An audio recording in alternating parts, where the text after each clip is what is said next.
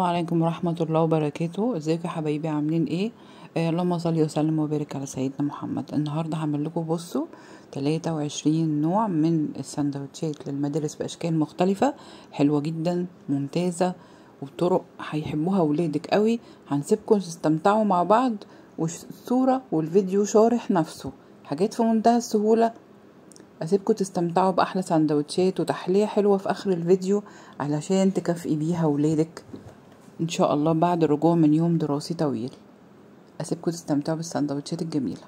ما تنسوش ال like وال share و subscribe للقناة عشان يوصلكم كل جديد. وإن شاء الله كل السندوتشات الحلوة دي تعجبكم.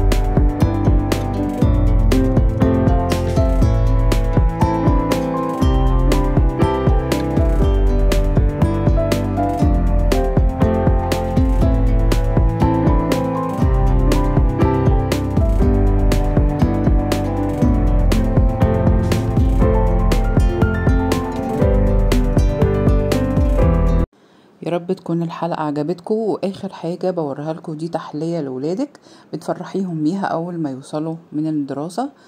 آه عبارة عن برضو التوست وفيه نوتيلا بس بشكل دبدوب أو شكل بيحبوه هما معاكي في البيت.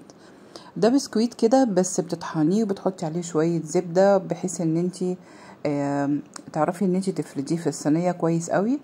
وممكن كمان نحط عليهم بق لبن صغير وبتفرديه في الصينية. تبططيه كده كويس قوي وبتعملي كراميل عادي خالص من الباكت بتاع الكراميل وبتحطيه فوق الوش فوق البسكويت برضو تمام؟ كراميل طبعا كلنا عارفين الطريقة بتاعته زي ما أنتوا شايفينها كده معايا. تسيبيها تبرد شوية وتقومي حطها فوق البسكويت وتدخليه التلاجة تمام؟ وممكن تعمليه كمان اللون البني بالكاكاو وتخففيه زي ما انت شايفة كده. هيبقى طعمه تحفة. بصوا أنا حطيت شوية بسكويت عليه بس عشان يبقى يتقل أكتر. وممكن يكون في عندك شوفان مطحون كمان بيبقى صحي كمان أكتر ومشبع.